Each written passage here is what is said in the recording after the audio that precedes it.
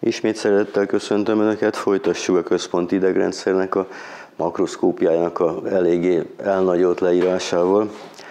Egyrészt kellene egy kis előzetésbe bocsátkoznunk, sajnálom, de a dolgok megértéséhez szükség van erre. Önöknek részletesebb előadása következik egy vagy két héttel később, mint ez, ezért ez tényleg csak egy előzetes. Arra kéne koncentrálni, hogy az embriót kívülről beborító ektodermának egy megvastagodása elkezd a mélybe süllyedni, és ez a mélybe süllyedt vájú, ez elkezd csővé záródni. Tehát végül is lesz egy teljes, a test teljes kiterjedésében elhelyezkedő velőcsövünk, amire most nagy szükségünk van. Ez a velőcső egy fejvégi, nagyobb szakaszból áll. Ezen a nagyobb szakaszon elsődleges hólyagok alakulnak ki egymás után három darab, de a, amikor lefűződik a ektodermáról ez a velőcső, akkor egy bizonyos sejttömege az ektodermának, a velőcső két oldalán, méltóztatnak látni, megint csak végighúzódva a velőcső mentén egy-egy sejt oszlopot, hámsejt oszlopot hoz létre, amit dúclésznek hívunk. Ez a dúcléc az, ami a perifériás idegrendszer alkotó elemeinek a kialakításáért felelős. Van még egy része az ektodermának, csak a teljesség kedvéért, szintén idegi struktúrák alakulnak ki belőle, de most nem fogunk részletebe menni. Ezek, ez a, egy ilyen patkó alakú megvastagodás a felszíni ektodermában, ami dorzáról, hátulról borítja a velőcsőnek ezt a kraniális fejvégi nagyobb szakaszát, ezt plakód lemeznek hívják, nagyon különböző és nagyon fontos dolgok származnak belőle. Most nekünk a velőcsőre kell koncentrálni.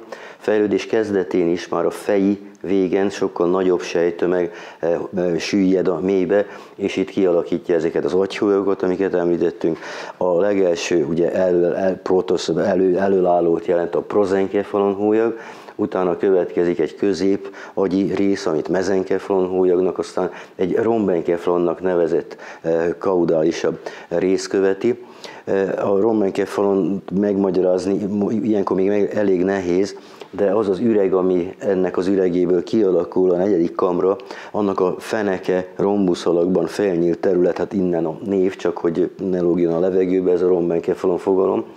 És ugye azért nagyobb tömeg az, ami a kraniális részen agyhólyagokat alkot, mert ebből az agyvelőnek, ami a e, volumenét tekintve lényegesen nagyobb e, e, struktúra, tehát az agyvelőnek a részei alakulnak ki a folytatásából, ami keskeny csőként húzódik végig, abból pedig csak a gerincvelő. A csak az úgy értendő, hogy nem fontosságát tekintve, hanem a neuron számát, a szerkezetét tekintve gyengébb fejlettségű rész a gerincvelő fejlődik belőle. A gyors növekedése az, az elsődleges agyhólyagoknak eredményezi a másodlagos agyhólyagoknak kialakulását ezekből. A prozenkefalon végül is három részre válik. Az egészet úgy kell elképzelni, mint egy lufi nyuszit, amikor az ember elkezd főfújni, vásárban biztos láttak ilyet, először felfújódik a feje, és hogyha tovább fújja, akkor a két oldalán kiboltosulnak a hatalmas fülek. Na ehhez hasonló a két oldalra kiboltosuló két darab telenkefalon vagy végagy hólyag kialakulása, ez olyan mértékben nő, hogy a fejlett agynál ez még mindig csak újszülött agyát mutató kép szinte minden más részét az agynak kívülről elfedi, a kisagy marad látható, meg az agytörzs marad látható, tehát rend, legjobban növekvő része a központi idegrendszernek a két telenkefalonhólyag, és az, ami a középvonalban, mint a nyuszi feje marad meg, azt közti agynak, dienkefalonnak kell hívni. Mezenkefalont fogják a legjobban szeretni, mert annak nincsenek másodlagos fejlődési képletei, mezenkefalon marad mezenkefalon úgy, ahogy van, Végül a rombenkefalon egy dorzális részre válik, ami szintén eléggé nagyfokú fejlődésen megy keresztül, és végül a kisagyat alakítja ki a cerebellumot, illetve a ventrális rész pedig egyrészt a előfekvő ponzból, hídból áll, másrészt a folytatásába eső nyúltvelőből áll, tehát ez a három harmadlagos húlyag a rombenkefalonnak a származéka. A végleges képződmények nagyon vázlatosan felsorolva.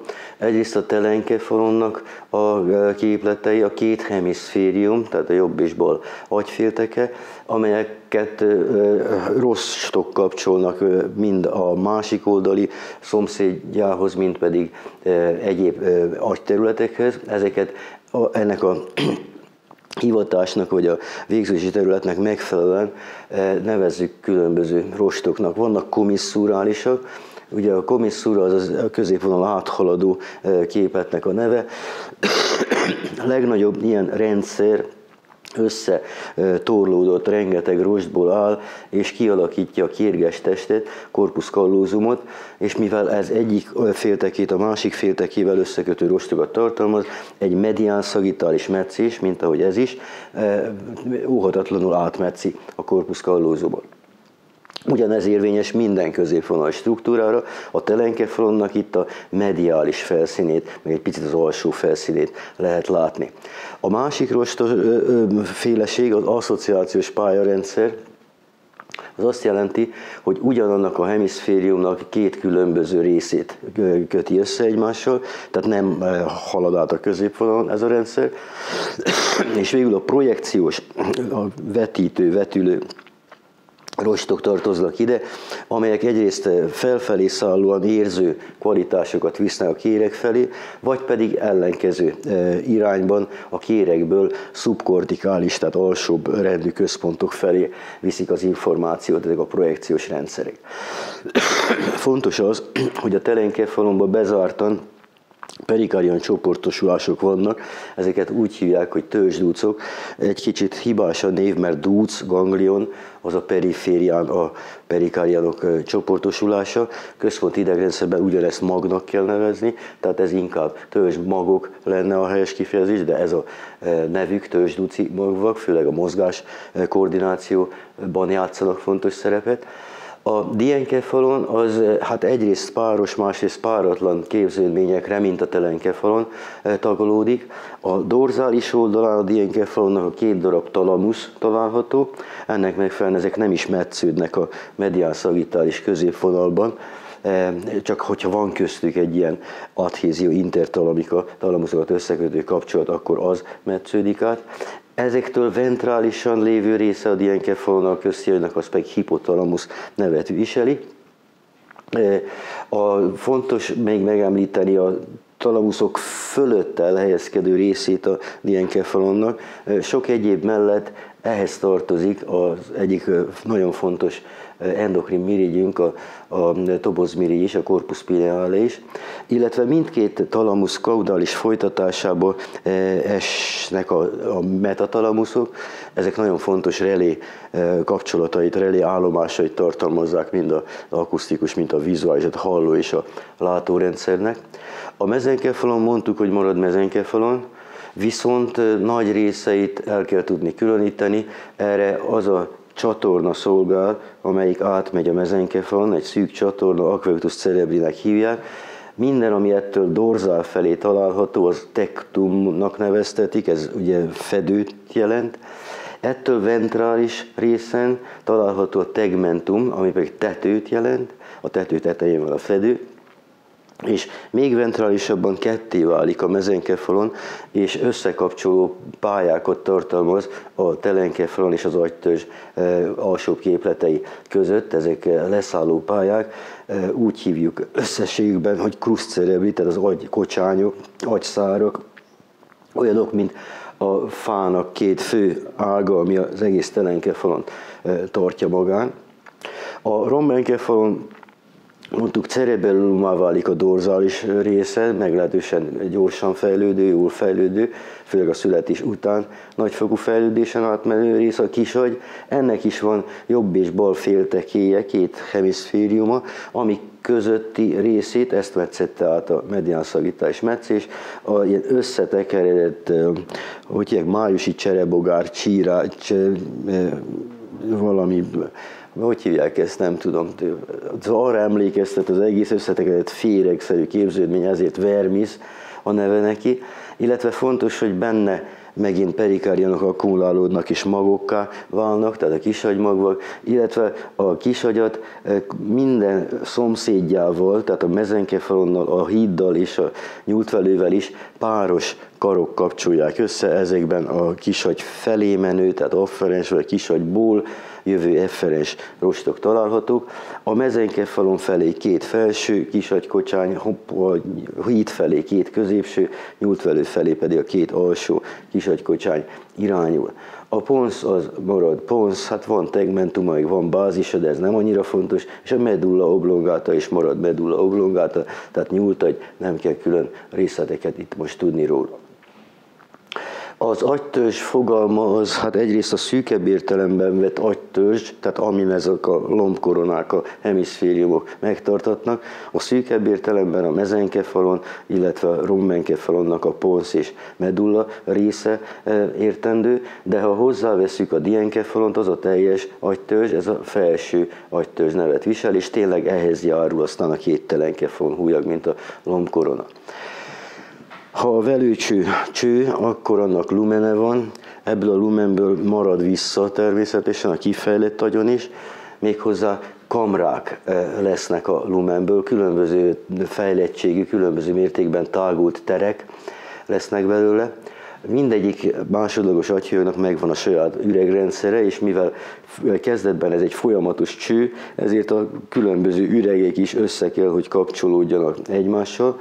A két telenkefalon, mivel a legnagyobb része az agynak a legnagyobb kamrát tartalmazza, ezek az oldalkamrák, Hát, hogy első, második, melyik első, melyik második, az teljesen mindegy.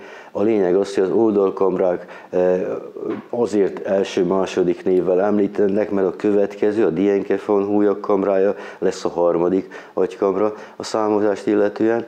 A mezenkefonnak az ürege nem tágul jelentősen, tehát az csak egy vízvezetékként, aqueductus cerebriként marad vissza. A rombenkefon ürege pedig a negyedik kamrává tágul, az a negyedik kamra a folytatásában a következő gerincvelő üregébe kell, hogy folytatódjék, az pedig a canalis centralis az, ami az üregből visszamarad a gerincvelő esetében.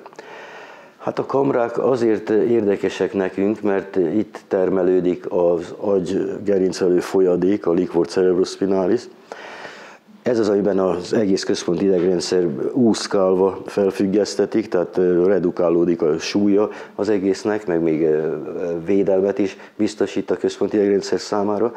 És ez a likvor a kamrákban termelődve ki kell, hogy jussék az agy külső felszínére, gerincvelő külső felszínére.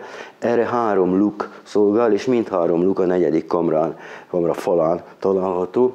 Ezek közül az egyik dorzalra nyílik a középvonalban, ez a foramen majandi, vagy apertura mediano ventriculi quarti, de a foramen majandi talán egyszerűbb, illetve van két darab előrefelé oldalra irányuló nyúlványa a kamrának, amiknek a vége szintén lukas.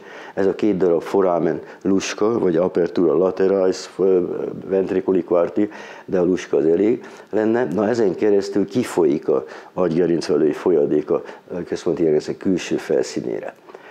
Tehát a jelentősége a kamráknak az, hogy ezek tartalmazzák azokat a szerveket, amelyek ezek a, a liquor cerebrospinalis, a agy gerincvelő folyadékot termelik.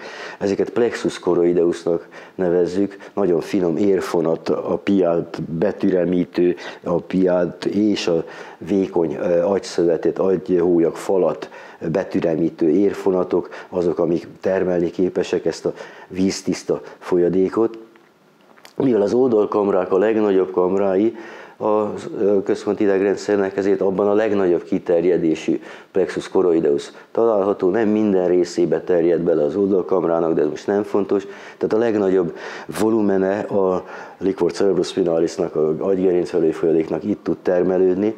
Innen folyik át azután a harmadik kamrába a likvor, ahol is a tetején a kamrának megint plexus található, tehát megint hozzátermelődik likvor az eddig megtermelthez, ami azután együttesen folyik át a mezenkefalon, az aqueductus cerebrin keresztül a negyedik kamrába. A negyedik kamrának megint csak nagyon kiterjedt, meglehetősen kiterjedt plexus koroidosza van, tehát jelentős mennyiségű likvor termelődik itt is, és akkor az említett három nyíláson keresztül el tudja hagyni a kamrarendszert a likvor, illetve egy hát nagyon kisebb mennyiségű része lefelé folyva a canalis centralisban, a gerincvelőbe ér.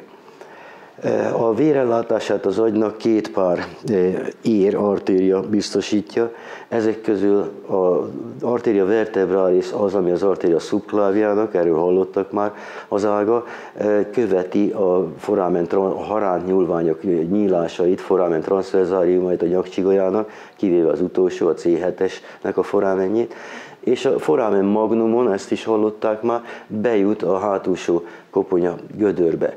A másik fő ellátóér az arteria carotis communisból eredő arteria carotis interna, canalis caroticuson keresztül a középső koponyagödörbe, illetve az első középső koponyagödör határára ír. Tehát ezek négyen felelősek az agy egészének az ellátásáért. Eh, hogy miért az arteria vertebralisszal kezdtem, ez konvenció, hogy a központi idegrendszer leírását is a gerincvelő felől fölfelé haladva eh, szoktuk megtenni, eh, méghozzá azért az egyszerű felől a komplexebb, összetettebb felé megyünk. Hát ilyen konvenció alapján az artériák leírása is ezt az utat követi. A fontosabb ágak, amiket önöknek tudniuk kell, a két artéria vertebralis azután, hogy hát fontos ágokat ad egyrészt a gerincvelő, másrészt a kisagy különböző részei e, számára, e, egyesül egyetlen artériává, ezt artéria bazilárisnak hívjuk, amiből megint csak kisagy ellátását, felső részét ellátását végző artéria ered, illetve egy fontos olyan artéria, amelyik már a telenkefalon hólyag hátsó részét látja el, artéria cerebri posteriornak hívják, ezzel vége a vertebralis, artéria vertebralis rendszerének. Az artéria carotis interna először egy középső nagyagyi artériát, artéria cerebri médiát ad, majd pedig előre folytatódva egy elősővel záródik az egész, artéria cerebri anteriorat. Ezek a legfontosabbak, amiket önöknek eh, tudniuk kell. Az is nagyon fontos, hogy a, hát ez sokak számára fontos szervről van szó, aminek jó, hogyha biztonságos a vérellátása. Ezt a biztonságot mindig az anasztomózisok e, e, szolgálják. Itt a négy artéria egy teljes körré záródik anasztomózisok révén. Ugye a két artéria vertebralis egyesül, hát ennél jobb anasztomózis nincs, az artéria cerebri posterior, mint a vertebralis rendszerének az utolsó ága, egy kis anasztomózissal kapcsolódik, vagy az artéria carotis internához, vagy az artéria cerebri médiához, a lényeg ugyanaz. Tehát az egyik oldalon a két rendszert ez az anasztomózis kapcsolja össze, a két artéria carotis interna között pedig az artéria cerebri anteriorok közötti anasztomózis létesít kapcsolatot, és ezzel egy teljes körré zárul az artériás rendszer, circus arteriosus villisinek hívjuk az egészet, és belátható, hogyha bármi történik valamelyik artériával, az összes többi át tudja venni a szerepét úgy, hogy nem is igazán produkál tüneteket ez a bezáródás vagy beszűkülés az artériának. A vénás vér az egész agyból színuszok felé tendál, tehát színuszok, speciális vénák gyűjtik össze a vénás vért. Ezekről a meningseknél, az agyhártyáknál mindjárt szó esik. A gerincvelő makroszkópiája eh, némileg már érintődött a perifériás idegrendszer kapcsán, tehát meg kell határozni, hogy honnan indul, meddig tart, a koponya foramen magnumától az L1, L2-es lumbális csigolya magasságáig tart. A különbség oka a test magasságban rejlik, tehát nyilván magasabb embereknél ugyanaz a hossz gerincvelő az magasabban ér véget, mint az alacsonyabbaknál ezt engem leszámítva lehetne szexuális különbségnek is tartani, tehát a férfiak általában magasabbak, úgyhogy el egyes szintben ér véget a gerincvelőig, hölgyeknél pedig el kettőig ér le az alacsonyabb testmagasság következtében. Ugye ganglion spinalékról már szó volt, ezek az érző ganglionok a e, csigolya közti nyílásokban, a foramen intervertebrálékban, és hát tulajdonképpen a perifériás idegrendszerhez tartoznak, csak itt szépen látszanak Viszont az egész gerincvelő nem azonos vastagságú a lefutása során, hanem két helyen vastagabbá válik. Tehát van egy intumescencia cervicalis nyaki duzzanat, és egy intumescencia lumbalis, egy ágyéki duzzanat.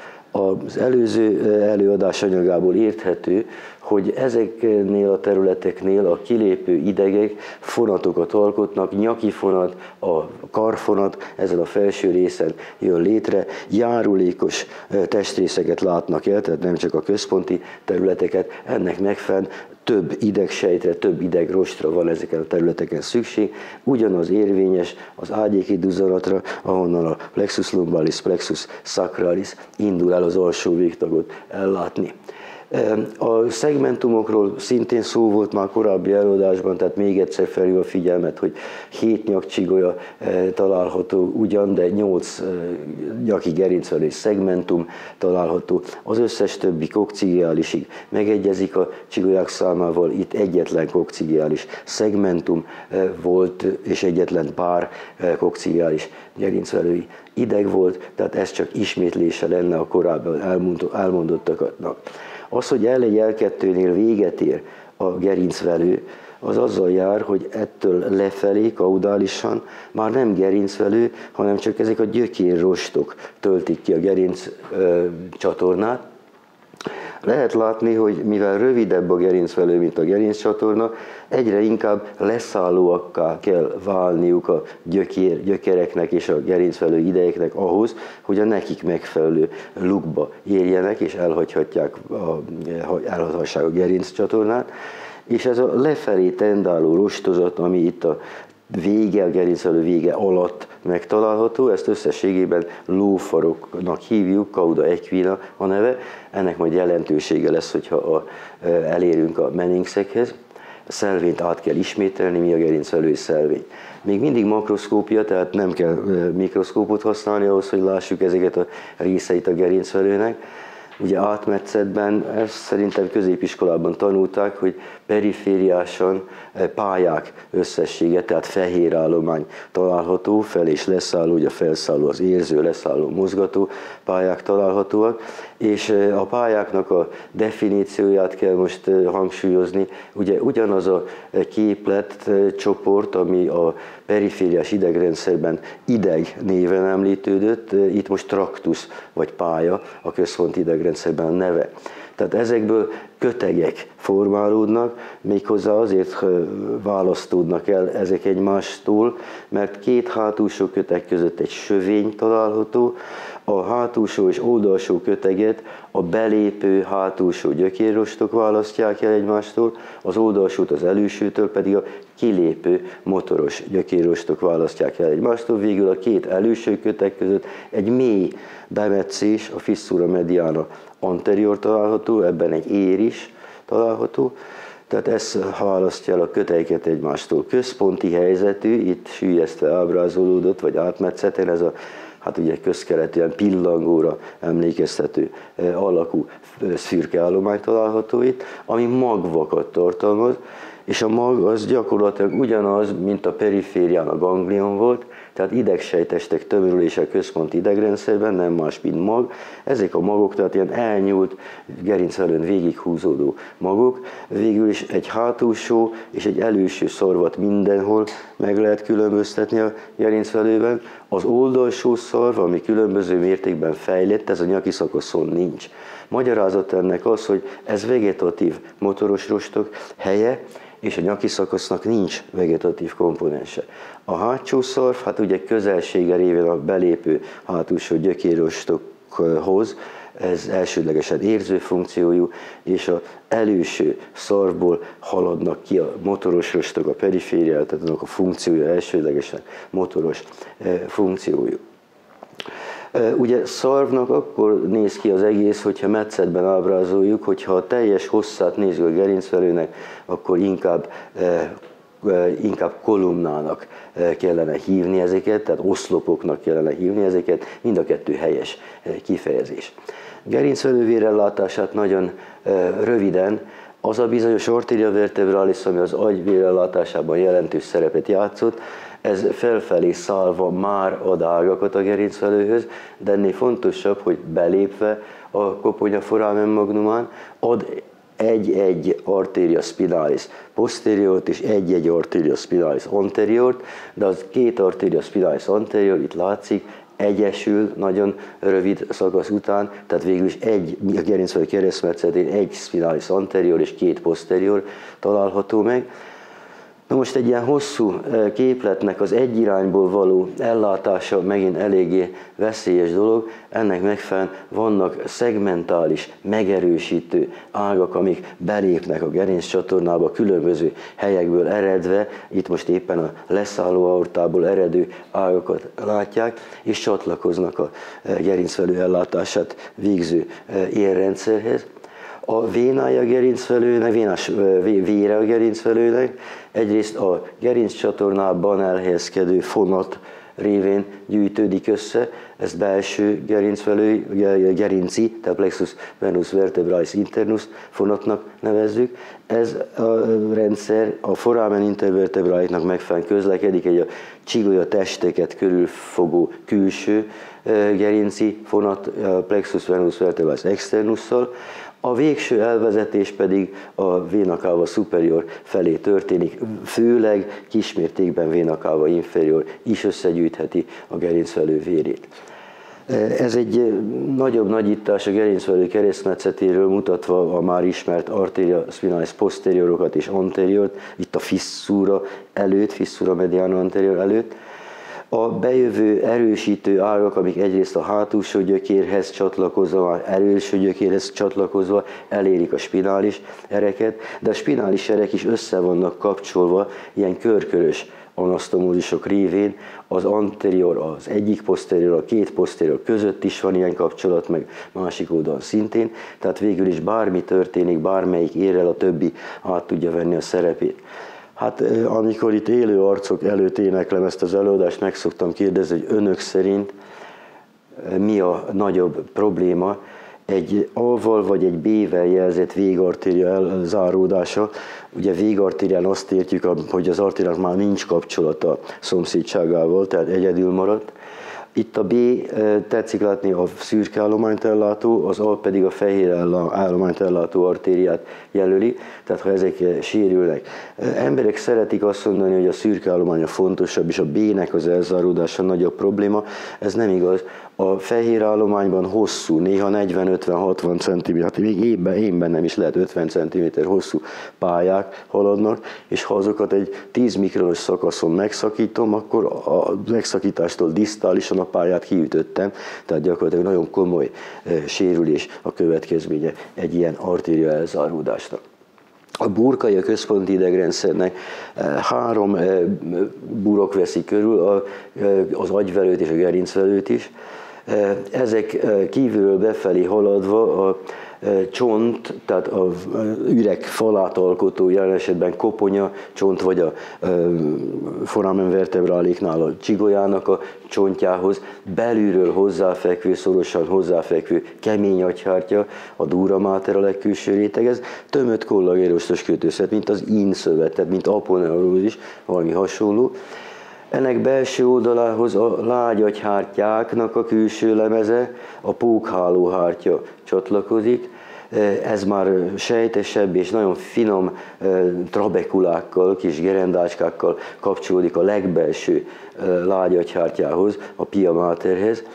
Itt fontos a viselkedésükre általánosságban szólni annyit, hogy a dura mater hűséges a csonthoz, tehát ahova a csont felszíne bármilyen szabálytalanul is követhető, oda a dura mater követi. Ugyanez érvényes az arachnoideára, mert az pedig a dúra belső felszínét követi mindenhova hűségesen, a pia viszont hozzánő az agy felszínéhez, tehát bármilyen mélyre beterjed a felszín egy fisszurát, szulkuszt képezve, a pia máternek kötelessége ugyanolyan mélyre leszállni, hozzáfekszik a külső agyfelszínhez, a terek, amik a különböző rétegek között képződnek, egyrészt virtuálisok, tehát nem tartalmaznak normál körülmények között semmit, Ilyen például az epidurális tér a dura mátertől kifelé, a csonthártyáig tartó tér, viszont a dura máter vérellátása meglehetősen gazdag,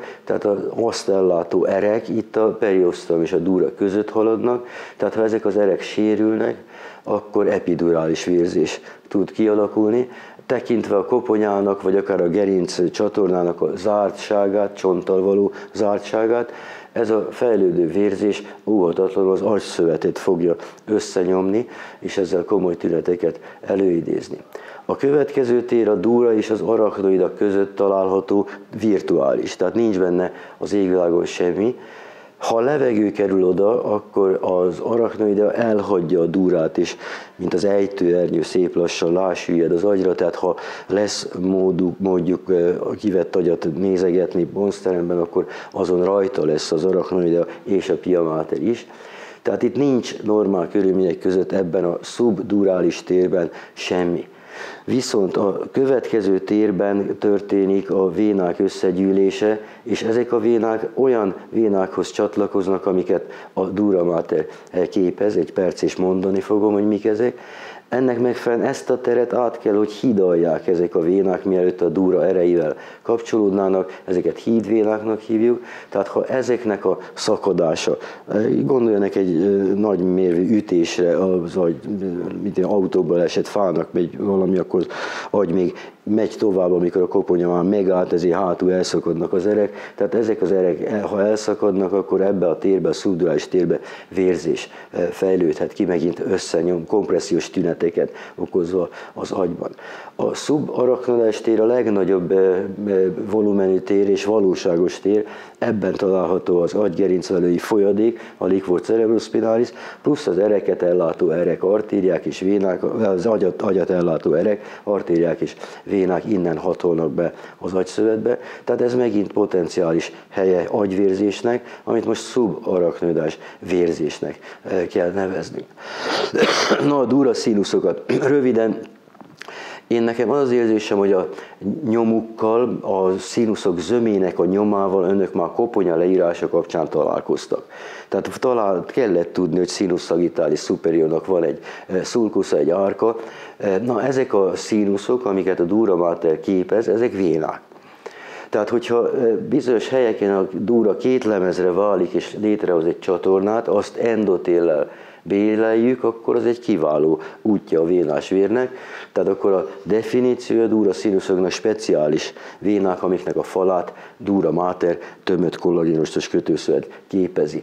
Ennek a magyarázata abban áll, hogy egy önök által is ismert véna femoralis vagy véna brachialis nem lenne jó a zárt koponya űrben, mert a agynak a súlya, ugye ami a folyadékban lebeg, a szubarachnoides térben lévő folyadékban lebeg, ez létrehoz egy nyomást a rendszerben, mert zárt térben helyezkedik el az agy, intrakraniális nyomást, Eh, tekintve az általános vénás nyomást, az alsó végtagban 60-80 higanymilliméter, has tájékán már 20, szívtájékán 0, a fölött pedig negatív, óhatatlanul bármilyen kis nyomás összenyomna a vénákat, a koponyaürön belül nem, nem beszélve erről az intrakraniális nyomásról, úgyhogy azt nyitva tartandó eh, erőteljes kötőszedes falat többet kollagénos és kötőzetes falat kapnak a vénák, és színuszokat eh, hoz létre a dura mater a számukra. Ezen kívül kettőzetei is található a dura maternek a koponyán belül, egy középvonali mediánszagittális sarló alakú kettőzet választja el a két féltekét egymástól, tehát itt lehet látni a kezdetét például, bal és jobb félteke között, ezt falx cerebrinek hívják, illetve ez hátul lefelé találkozik egy a kisagy fölött, mert a kisagy foglalja el zömmel a hátsó koponyagödröt, tehát a kisagy hátsó koponyagödör fölött ilyen tető, sátor tetőhöz hasonló kettőzet az, ami beborítja a kisagyat, ennek megfelel a neve, kisagy sátor, tentorium cerebelli. A gerincvelőburkai nagyon hasonlatosak, mert az is központi idegrendszer része. Az egyetlen különbség az az, hogy a dura két lemezű, tehát a foramen magnumnál a agy dúrája szétválik két e, egymásba illő cső-szerű képződményé. A külső lemez az a tulajdonképpen a csonthártyával egyesülő e, lamina externa, ezt endorachisnak, tehát a gerinc belsejét bélelő lemeznek is hívják, és ettől bizonyos űr, pontosan a epidurális űr, ami elválasztja a belső lemezt, ami a tulajdonképpeni dura mater, lamina interna, durae matrice, Ebben a térben, az epidurális térben található az is vénás fonat, amit az előbb már említettünk. Hát ezeken belül ugyanazon két lemeze a, a, a, a lágyagyhártyának található, hűségesen a dúrához az arachnoide, a pókhálóhártya, és a gerincvelő felszínét követően pedig a piamáter. Ugyanazok a terek különböztetendőek meg, epidurális tér a két lemez között van jelen esetben, nem az hiszon kívül, ebben van a vénás fonat, a szubdurális tér ugyanúgy a dúra belső lemeze és az araknoida között, a szubaraknoides tér pedig az araknoida és pia között van, a tartalmuk ugyanaz, tehát itt is a liquor cerebrospinalis a szubaraknoides teret tölti ki. Ha azt kitölti, és jelen esetben azt kell megemlíteni, hogy ugyan L1 L2-ig folytatódik a gerincvelő, csak, de az arachnoideus dúra az az S1 S2-ig leterjed, tehát a szubaraknás tér is le kell, hogy terjedjen a szakra és 1-es 2-es csigolya magasságáig. Tehát ezen a szakaszon már csak azok a lefelé tartó gyökérrostok találhatóak, gerincvelő nincs, úgyhogy ezek biztonságos helyei, itt az L2, 3, L3, 4 csigolya között biztonságos helyei a ciszter a, a punkciónak, a lombár punkciónak, tehát annak, amikor e, le kell venni e, gerincvelői folyadékot diagnosztikus e, célból. Nagyon fontos, hogy ebben az esetben csak csöpögni kell hagyni a folyadékot, nem szabad szívást gyakorolni, mert az beszívja az agyvelő kaudális részét a foramen magnumba, ahol kompressziós tünetek következtében azonnali halált lehet előidézni. Ez, hát ezzel önök nem fognak találkozni de vizsgával igen, úgyhogy nagyon sok sikert kívánok az eljövendőkben a vizsgákra és az egész életre. Köszönöm a figyelmüket.